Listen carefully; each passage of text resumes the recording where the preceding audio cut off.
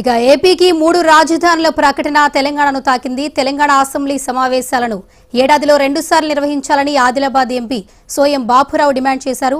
ఇదే అంశానికి సంబంధించి మరిన్ని అప్డేట్స్ అందించడానికి ఎండీ వంశీ గారు లైవ్లో సిద్ధంగా ఉన్నారు. వంశీ ఏపీకి మూడు రాజధానుల ప్రకటన తెలంగాణను తాకింది. అయితే అప్డేట్స్ ఏంటి? యా సువర్ణ ఆంధ్రప్రదేశ్లో ఇప్పుడు అమరావతిలో ఒకవైపు బంద్ జరుగుతూ ఉంది. రాజధానిని ఇక్కడి నుంచి తరలించొద్దు. అసెంబ్లీ సెక్రటేరియట్ హైకోర్టు మొత్తం ఇక్కడే ఉండాలి అని చెప్పిన ఒక పక్క ఆంధ్రప్రదేశ్లో అమరావతి రాజధాని సెంట్రిక్గా సీఎం ఇంటి చుట్టుపక్కల బంద్ జరుగుతూ ఉంది. పోలీసులు లాఠీచార్జ్ చేస్తూ ఉన్నారు. వన్ ఫార్టీ ఫోర్ సెక్షన్లు పెట్టారు. రైతులను అరెస్ట్ చేసి పోలీస్ స్టేషన్లు తరలిస్తున్నటువంటి సంఘటన ఒకవైపు తెలుగు రాష్ట్రమైనటువంటి ఆంధ్రప్రదేశ్లో జరుగుతూ ఉంది. మరోవైపు ఆంధ్ర తెలంగాణకు సంబంధించినంత వరకు ఆదిలాబాద్లో అసెంబ్లీ సమావేశాలు నిర్వహించాలి.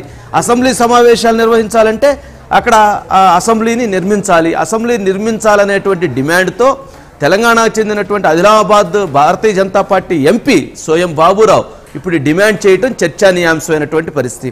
అంటే ఆదిలాబాద్ హైదరాబాద్కి మూడు వందల కిలోమీటర్ల దూరంలో ఉన్నందున ఇక్కడి నుంచి పూర్తిగా ఆదిలాబాద్ వెనకబడిపోయినటువంటి పరిస్థితి ఉంది.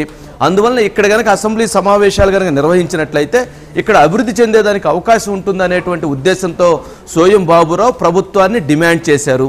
చేసినటువంటి MP Bharatiya Janata Party MP. అంటే దీనికి ఒక డిమాండ్కి ప్రాధాన్యత సంతరించుకున్నటువంటి పరిస్థితి. ఇప్పటికే అంటే హైదరాబాద్ ఒక గ్లోబల్ సిటీగా డెవలప్ అవుతున్నటువంటి పరిస్థితి.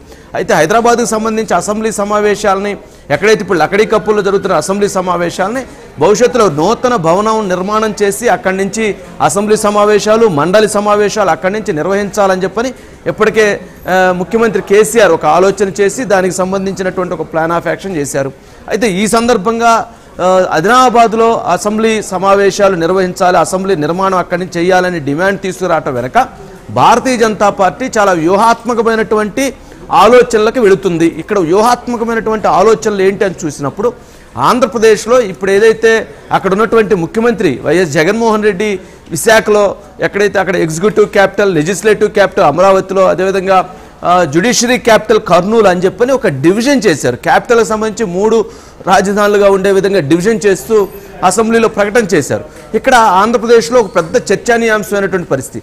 వైజాగ్ కర్నూలుకు సంబంధించినటువంటి ప్రజానీకం కానీ అక్కడ ఉన్నటువంటి వారు కూడా దీన్ని స్వాగతించారు.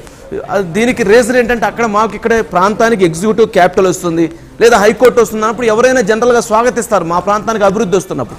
అదేవిధంగా ఆదిలాబాద్లో అసెంబ్లీ సమావేశాలు నిర్వహించాలనే డిమాండ్ తీసుకురావడం ద్వారా అంటే భవిష్యత్తులో భారతీయ జనతా పార్టీ యొక్క స్టాండ్ ఆదిలాబాద్లో అసెంబ్లీ నిర్వహిస్తాము అసెంబ్లీ సమావేశాలు ఇంకొక దగ్గర ఇంకొకటి నిర్వహిస్తాము. అంటే డీసెంట్రలైజేషన్ చేయటానికి కొంత సుముఖత చూపాలి అనేటువంటి ఒక డిమాండ్ని తీసుకురాబోతున్నారు. అనే చర్చ జరుగుతూ ఉంది. అంటే అసలు అసెంబ్లీ సమావేశాలు అక్కడ అన్నప్పుడు రేపు కరీంనగర్లోనో వరంగల్లోనో నల్గొండలోనో హైకోర్టు పెట్టాలనే డిమాండ్ కూడా రావచ్చు. కానీ ఇది ఎంతవరకు సమంజసం? అభివృద్ధి వికేంద్రీకరణ జరగాలి. పరిపాలన వికేంద్రీకరణ కాదు అనేటువంటిది మేధావులు చెబుతున్నారు. చివరికి అంటే నిన్న జగన్మోహన్ రెడ్డి చెప్పినటువంటి ఒక కామెంట్ సౌత్ ఆఫ్రికాతో కంపారిజేషన్ చేస్తూ సౌత్ ఆఫ్రికాలో మూడు రాజధానులు ఉన్నాయి అలాగే ఆంధ్రప్రదేశ్లో మూడు రాజధానులు ఉంటే తప్పేమిటి అనేటువంటి ఒక ప్రశ్న ఉత్పన్నమైనప్పుడు ఎక్కడైనా మనం పోటీ పడేటువంటి వ్యక్తి లేదా మనం పోటీ పడేటువంటి సంస్థ లేదా మనం పోటీ పడేటువంటి రాష్ట్రం లేదా మనం పోటీ పడేటువంటి దేశం ఎట్లా ఉండాలి? మనకంటే వేగంగా ఉండేటువంటిది మనకంటే శక్తివంతమైనటువంటిది మనకంటే ఆలోచనపరమైనటువంటిది అయి ఉండాలి అనేటువంటిది ఒక భావన ఉంది. కానీ ఇక్కడ ఉన్నటువంటి భావన సౌత్ ఆఫ్రికా అన్ని రకాలుగా వెనకబడి ఉన్నటువంటిది అక్కడ ఉన్నటువంటి విధ్వంసాలు కావచ్చు లేదా అనేకమైనటువంటి ఘర్షణల వాతావరణంతో అసలు ఆ దేశం ఏర్పాటు యొక్క పరిస్థితులు అనేకమైనటువంటి ఇబ్బందులతో కూడుకున్నటువంటిది. చివరికి ఇప్పుడు అక్కడ ఉన్నటువంటి అధ్యక్షుడు కూడా మూడు రాజధానులు ఉండటం వలన మాకు చాలా ఇబ్బంది జరుగుతుంది. దీని అంతా కలపాలనేటువంటి ఒక డిమాండ్ని స్వయంగా అధ్యక్షుడే తీసుకొస్తున్న పరిస్థితి. అంటే అటువంటి నేపథ్యం ఉన్నప్పుడు ఈ రకమైనటువంటి డిమాండ్స్ రావటం ద్వారా ఈ రకమైనటువంటి ఒక ఆలోచనలు తీసుకురావటం ద్వారా అంటే పరిపాలన వికేంద్రీకరణ ఎలా ఉండబోతుంది? పరిపాలన వికేంద్రీకరణ జరిగితే అభివృద్ధికి ఎటువంటి ఆటంకం కలుగుతుంది అనేటువంటిది ఇంటలెక్చువల్స్ లేదా మేధావులు అందరూ కూడా చర్చించి ఆలోచించి ముందుకెళ్ళాల్సినటువంటి పరిస్థితి. కానీ భారతీయ జనతా పార్టీ ఒక స్టాండ్ని తీసుకోవటం ద్వారా ఆదిలాబాద్ ప్రజానీకానికి స్వయం బాబురావు ఒక హీరోగా నిలబడేటువంటి పరిస్థితి అయితే వచ్చేటువంటి పరిస్థితి ఉంది సువర్ణ. కానీ ఇది భవిష్యత్తులో అంటే ఇటువంటి డిమాండ్స్ వచ్చినప్పుడు కానీ ఇటువంటి అంశాలు వచ్చినప్పుడు కానీ జనరల్గా పొలిటికల్గా అంటే ఒక మైలేజ్ కోసం ముందుకు వెళ్తే తప్ప ఎంతవరకు సాధ్యాసాధ్యం అవుతుంది అనేటువంటి దాంట్లో మాత్రం మిగిలినటువంటి స్టేట్స్ ఒప్పుకోపోవచ్చు మిగిలినటువంటి జిల్లాలు ఒప్పుకోపోవచ్చు లేదా ఎవరైతే ముఖ్యమంత్రిగా ఉన్నటువంటి లేదా ప్రభుత్వాది పెద్దలు కూడా ఒప్పుకునేటువంటి పరిస్థితి ఉండకపోవచ్చు Suvarna. Right thank you Vamshi.